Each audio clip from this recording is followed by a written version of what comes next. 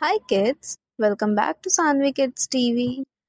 Let's learn about the different seasons, which is winter, spring, summer, and fall.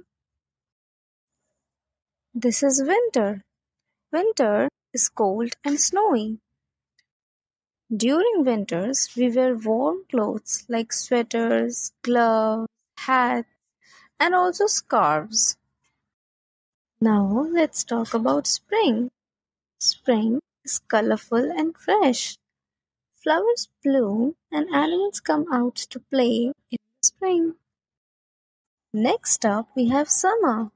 Summer is hot and sunny. We go to the beach and enjoy ice cream during summer. Now we have fall, which is also known as autumn. Fall is cool and crisp. When fall comes, leaves change their color and they also fall from the trees. We have now discovered all the four seasons.